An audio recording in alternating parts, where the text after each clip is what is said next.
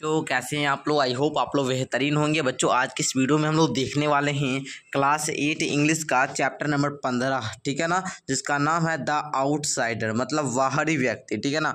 आज हम लोग इस चैप्टर का ऑल क्वेश्चन आंसर कंप्लीट करेंगे। चैप्टर आप लोग का बहुत ही ज़्यादा इंटरेस्टिंग है तो आप लोग इसको पढ़िएगा। बहुत मज़ा आएगा, हम इस चैप्टर को पढ़ाए हुए हैं, ठीक है ना? लिंक आप लोग को डिस्क्रिप्शन में मिल जाएगा क्लास एट इंग्लिश का प्ले का ओके चलिए बाबू, ये आप लोग देखेंगे, यहाँ पर आपको कुछ वर्ड मिलेगा। इसको आपको क्या करना है? याद कर लेना है। सारे वर्ड को आप लोग क्या कीजिएगा? याद कर लीजिएगा, ठीक है ना? तो देखिए बाबू, यहाँ से आप लोग का जो क्वेश्चन आंसर है, वो स्टार्ट होता है। कहता है थिंक एंड टेल सोचो और कहो। आंसर दी फॉलोइंग क्वेश्चन और क्वेश्चन का जवाब मौखिक रूप से देना है। फ़र्स्ट क्वेश्चन देखेंगे, कहता है who is the speaker who is the speaker speaker का मतलब वक्ता, ठीक है ना? वक्ता कहने का मतलब जो ये बोल रहे हैं है ना? जो इस कविता को लिखे हैं, लेखक, ठीक है ना? वक्ता कौन है? वक्ता वक्ता बाबू क्या है? बक्ता कौन है? तो आप लोग क्या बताएँगे? जल्दी से बताएँगे। तो बक्ता जो हैं, वो एक विकलांग व्यक्ति हैं। तो सर, आप आंसर में लिखिएगा, the speaker is a handicapped person.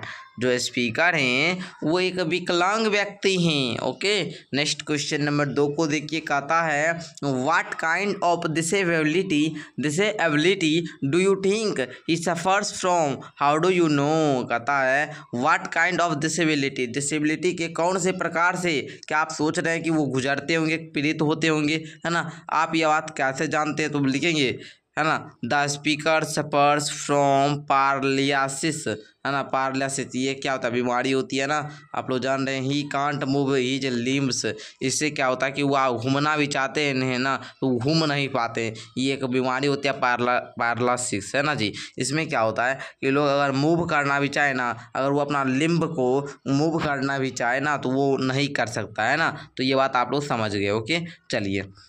आगे देखिएगा तीसरा क्वेश्चन कहता है how does the speaker want the others to treat him speaker क्या चाहते हैं? स्पीकर कैसे बता रहे हैं कि दूसरे लोग उनके साथ कैसा व्यवहार करता है या कैसा चाहता है? ठीक है ना? तो लिखेंगे, the speaker want the other to treat his, him equally. जो है ना, स्पीकर चाहते हैं कि दूसरे लोग भी हमको उसी प्रकार के इक्वल मांगे। जैसे वो है, उसी प्रकार हम भी हैं। ठीक है ना? ऐसे माने, लेकिन नहीं। अरे भाई, जो भी विकलांग व्यक्ति होता है ना, उसके साथ अलग ही व्यवहार किया जाता है ना? देखिए, चार नंबर क्वेश्चन कहता है how do normal people behave with the speaker कहता है नॉर्मल पीपल जो होते हैं, सामान्य व्यक्ति जो होते हैं, ठीक है ना? सामान्य व्यक्ति जो होते हैं, वो, है ना स्पीकर के साथ कैसा व्यवहार करते हैं? ठीक है ना?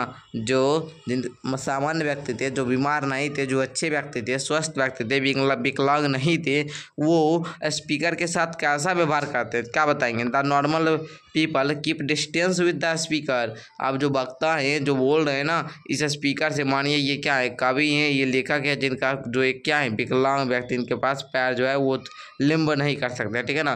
तो इनके साथ जो लोग होता था, जो लोग होता था, वो क्या, कैसा व्यवहार करता था? इससे दूरी बना कर रखता था, जैसे ये यहाँ पड़े तो इनसे दूरी बना रखेगा ठीक है ना? ताकि ये बुलाए नहीं बैठने के लिए, ठीक है ना? चलिए। देखिएगा आगे बी पॉइंट वन का टू नंबर कहता है state whether the following statement are true और फॉल्स बताना है आपको, जो कथन है, ये कथन जो देख रहे हैं, ये सही है या गलत है? फ़र्स्ट में कथा था speaker is unable to move his limbs ये बात सही है बाबू, वो अपने लिम्बस को, उसके लिम्ब को मूव करना अनेबल था ना? वो अयोग्य थे। आगे the speaker is mentally challenger ये बात फॉल्स है। जो स्पीकर थे, उनके पास दिमागी चैलेंजर नहीं था, ठीक है ना? दिमागी चैलेंज नहीं था। उन चुनौती नहीं थी, ठीक है ना? मेंटली चुनौती नहीं थी, ठीक है ना? आप जो लोग जान ही रहे, वो शारीरिक थे, ठीक है ना?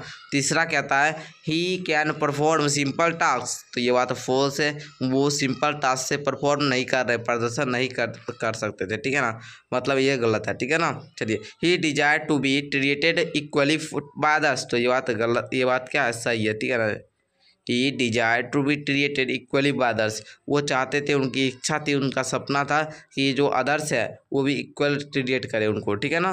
चलिए, ये आप लोग समझ गए, यहाँ पर हम देखिए दे भी चुके हैं, एक का ट्रू होगा, दूसरा का फॉल्स होगा, तीसरा का फॉल्स चौथा का ट्रू आगे देखेंगे कहता है थिंक एंड राइट अब ऑब्जेक्टिव का क्वेश्चन है कहता है take the most appropriate answer and give reason in favour of the option selected ये क्वेश्चन देख रहे हैं ना, इस क्वेश्चन का आपको ये तीनों में विकल्प चूज़ करना है। और जो भी विकल्प चूज़ करेंगे, वह कैसे राइट है, इस पर आपको क्या करना है, उसका रीजन देना है। क्या देना है? रीजन देना है। Favour of the option select जो सिलेक्शन ऑफ़ जो आप ऑप्शन सेलेक्ट करेंगे ना, उसके फेवर में ओके चलिए।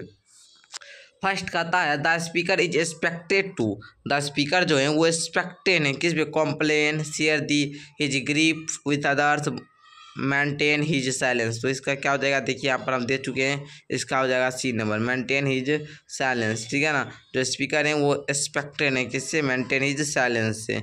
आगे देखिए, कहता है, the speaker is eager to. The speaker है, वो एगर है। कि क्या चीज़ से? तो आप क्या बताएँगे, सर? आप बताएँगे, बाबू, स्पीकर जो एगर हैं, वो हैं express his thought and feelings. वो अपनी भावना को, वो अपनी सोच को, वो अपनी महसूस को किसी दूसरे को व्यक्त नहीं कर सकते हैं। इससे क्या है, वो एगर हो चुके हैं, ठीक है ना? तीसरा देखिए, कहता है, आपका the speaker is grieved on account of क्या? जो स्पीकर हैं, वो ग्रेवेट करते हैं अपने अकाउंट पर क्या? The behaviour of others to art seem है ना? ये ये नंबर इसका क्या हो जाएगा? राइट हो जाएगा। आगे का क्वेश्चन दिखा जाइए आगे का देखेंगे answer the following question answer देना है आपको फॉलोइंग क्वेश्चन का।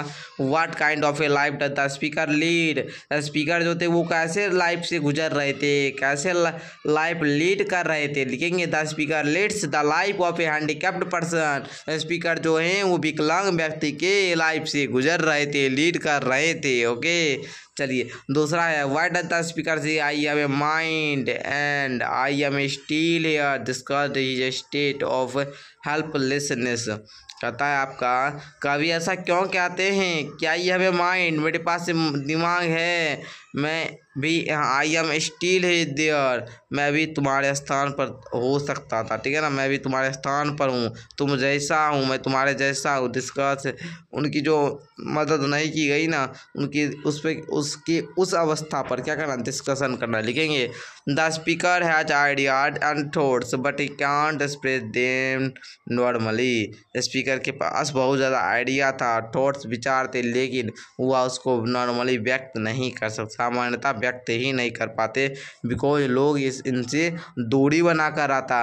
अगर ये कहीं रहते तो इनसे दूरी लोग बना लेता था। इसके लिए ये व्यक्त नहीं कर पाते। तीसरा देखेंगे, कहता है why does he call the normal people ignorant पता है नॉर्मल पीपल को इग्नोरेंट क्यों कहते हैं? क्यों पुकारते हैं? लिखेंगे normal people don't bother of for him so call them ignorant तथा नॉर्मल पीपल जो थे, वो उनको तो क्या बोधर है ना जी? नहीं करते, उनके लिए नहीं करते थे। मतलब उनको दूरी बना नहीं रहता था। इसलिए वो जो है ना इग्नोरेंट बोलते हैं, ठीक है ना? उन्हें इग्नोरेंट बुलाते हैं, ठीक है ना? अगर आप ही हमको इग्नोर कीजिएगा ना तो हम भी आपको क्या बोलेंगे इग्नोरेंट मानिए, हम अच्छे पढ़ाते हैं, हम अच्छे व्यक्ति हैं, हमारा विचार अच्छा है हमको सोचने की क्षमता है, हम आपसे कुछ बातें करना चाहते हैं और आप हमको इग्नोर कर दीजिएगा तो आपको कैसे व्यक्ति कहेंगे? इग्नोरेंट बोलेंगे ना? चलिए, कहता है, are different a world people inferior to others give reason कहता है are different a world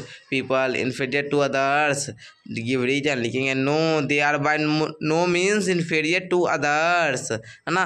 They possess the basic instincts of the other people there have been great person among them such as Vrali, Helen Keller, Surdas Sudha है ना चंद्रदन ये सब क्या है उनके क्या है जी एमो मतलब वो सब पर्सन के बीच का नाम है ठीक है चलिए ये सब पर्सन का नाम है ओके समझ रहे हैं ना? नेक्स्ट देखिए अब वर्ड स्टडी आ चुका है।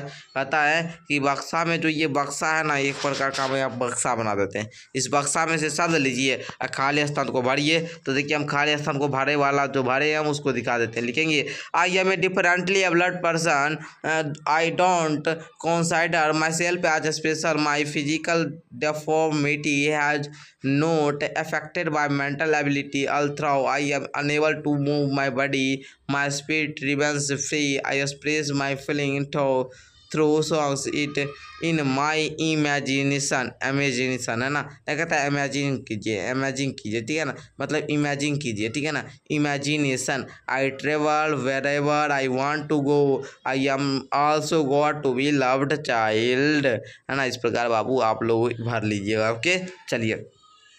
अब बाबू, आप लोग का रैमिंग वर्ड है, रैमिंग वर्ड है, आप लोग जान ही रहे हैं। रैमिंग वर्ड क्या होता है सर? सामान उच्चारण होता है। Bound, sound, by, sigh, go, flow, others, brothers, ask task hand, understand, give, live. तो ये आप लोग का क्या था जी? बुक से कुछ था रैमिंग वर्ड तो ये हम आप लोग को बता दिए। अब देखेंगे आप लोग का था लेटेस्ट स्टॉक। चलो अब हम लोग बातें करते हैं जी, डिस्कशन करते हैं। क्या है? कहता है कि write a paragraph of life is disabled a person. है ना, जिस पर्सन से लाइफ को डिसेबल बोल्ड कर दिया गया। इस पर एक क्या करना है? पैराग्राफ लिखना है जी। तो देखिए your paragraph should include the following point आप जो पैराग्राफ लिखेंगे ना, उसमें निम्न पॉइंट को क्या करना है? इंक्लूड करना है, शामिल करना है। फ़र्स्ट पॉइंट होना चाहिए कि nature of disability is a person suffer from जो पीड़ित व्यक्ति से जो डिसेबिलिटी का नेचर होता है, स्वभाव होता है, उसके बारे में वाट प्रॉब्लम्स दे फेस वे कैसी समस्या से गुजरते हैं वाट सपोर्ट देने, उनको कैसी समस्या, उसको कैसी ज़रूरत पड़ती है, ठीक है ना? कैसे उनको ज़रूरत पड़ती है, क्या चीज़ उनको सपोर्ट करना चाहिए हाउ पीपल ट्रीट हिम उनके साथ लोग कैसा व्यवहार करते हैं response responsibility of the society towards them उनके साथ जो सोसाइटी समाज के लोगों की जो रिस्पॉन्सिबिलिटी बनती है, उस, उसके बारे में भी बताना है। तो सबसे पहले हम लोग यहाँ पर लिख दिए टॉपिक आंसर में, ठीक है ना? पहले टॉपिक को लिख दिए, अब देखिए इस पर लिखिए life of a disabled person in misery level misery level लिख दिए। अब देखिए दिया suffer from their parts of body वे अपने बॉडी के पार्ट से क्या कहते हैं प्रीत रहते हैं, गुजरते हैं, है ना? Some in handicapped by leg some some by hand some by other parts of body कुछ लोग क्या होते हैं, पेड़ से विकलांग होते हैं, कुछ लोग हाथ विकलांग होता है, कुछ लोग अदर चीज़ से भी क्या होता है विकलांग होता है। They have to face many problems वे बहुत सारी समस्या से क्या गुजरते हैं, they day to day life, दिन ब दिन क्या गुजरते हैं समस्या में? जीवन में उनका बहुत सारी प्रॉब्लम आती है। जैसे मानिए, हमको भाई हाथ नहीं है, हम खाना कैसे खाएँगे? अच्छा नहीं है ना? ये बात सब होता है ना? तो चलिए, हमारे पास पैर नहीं है। मानिए, अगर हमको कहीं जाना है तो कैसे जाएँगे? दिक्कत तो होगा ही ना? फेस तो करना पड़ेगा। अब हाँ ये है कि हमारा थोड़ा दिन बाद आदत बन जाता है है ना? तो उससे कोई दिक्कत नहीं होती है, ठीक है? They need our emotional support and love उनको हम लोग को जो है, उनका इमोशनल को समझना चाहिए और उनको ज़रूरत को मदद करना चाहिए सपोर्ट करना चाहिए, उन्हें बहुत प्यार करना चाहिए।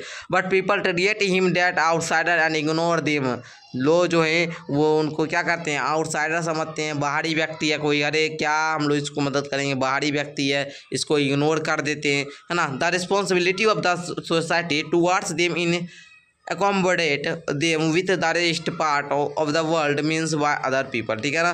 रिस्पॉन्सिबिलिटी क्या होती है सोसाइटी की, वो भी हम बता दिए ओके चलिए अब आप वो आप लोग का है ट्रांसलेशन कहता है ट्रांसलेट इनटू इंग्लिश अब इंग्लिश में ट्रांसलेट करना है। अब देखिए, यहाँ पर सेंटेंस दिया गया इसको ट्रांसलेट कीजिएगा।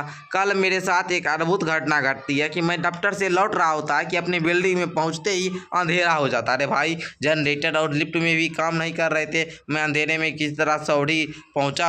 तो पहले सीढ़ी पर पैर रखने की कोशिश की, मैं गिर पड़ा। अब अंधेरा तो भाई गिर पड़ेंगे। तो इसका इंग्लिश में करना है ना जी? तो हम देखिए, यहाँ पर दे दिए I strange thing to me yesterday. I was back from my office, reaching to my building, the light went off.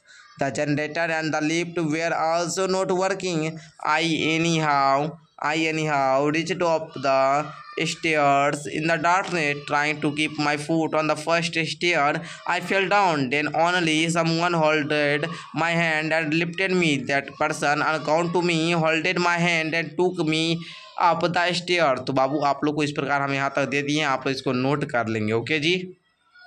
तो बच्चों, हमको लगता है कि आप लोगों को इस चैप्टर में क्वेश्चन आंसर करने में कहीं कोई प्रॉब्लम नहीं हुआ होगा।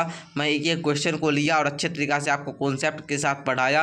आप लोग को बहुत मज़ा आया होगा। मैं आशा करता हूँ ये वीडियो आपको काफ़ी अच्छी लगी हो। अच्छी लगी हो तो आप लोग क्या करेंगे बाबू? तीन काम करना है। पहले तो आपको लाइक कर लेना है। दूसरा काम आपको चैनल को सब्सक्राइब कर लेना क्यों भाई? क्योंकि अभी आप लोग को इस पर क्लास एट का ऑल सब्जेक्ट पढ़ाया जा रहा है, ठीक है ना? तो इसके लिए सब्सक्राइब कर लेंगे। तीसरा आप लोग को अपने सारे दोस्तों में क्या करना है? शेयर कर लेना है। और हाँ यदि क्वेश्चन आंसर वाला पीडीएफ डाउनलोड करना चाहते हैं और चैप्टर नंबर वन से क्वेश्चन आंसर नहीं देखें तो जाकर देख लीजिएगा। पहले लिस्ट भी डिस्क्रिप्शन में ही मिलेगा और जो मेरा अप्लीकेशन है क्वेश्चन आंसर का पीडीएफ डाउनलोड के लिए जो अप्लीकेशन डाउनलोड करना चाहेंगे, वो भी आप लोग का डिस्क्रिप्शन में ही लिंक मिलेगा। मिलते हैं नेक्स्ट वीडियो के साथ, तब तक के लिए धन्यवाद। आप लोग पढ़िए, मन लगाकर अपने माता पिता और शिक्षक का नाम रोशन कीजिए।